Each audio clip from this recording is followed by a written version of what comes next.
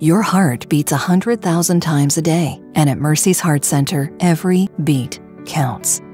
With advanced training and technologies, our team of heart specialists provide a better patient experience and quality outcomes. And it's why we're the hospital that treats more heart patients in Cedar Rapids.